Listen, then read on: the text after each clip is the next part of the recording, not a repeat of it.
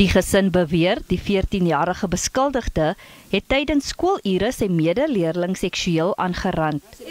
Die voorval het voor ander leerdlinge plaasgevind en het glo erge emosionele skade aan die meisie berokken. Die kind spring heel nag op en die kind sê gaan nie weer skool toe nie. En wat van die kind se future? En dis die kind wat ek ken. Hy wil sê wil eet, sê eet een keer 'n dag van die ding gebeur het. Die klasonderwyser was na bewering nêrens te vind tydens die voorval nie. Die familie beweer ook dat die skool probeer het om die voorval toe te smeer. Die mannetjie billetjie by die skool hê nie. Ons het hom aangeklaag wie die wat gaan hulle doen met hom, maar hy moenie weer by hierdie skool gaan nie. Al kan hy nou opgesluit word klein klein, maar ek soek hom nie na by die skool nie.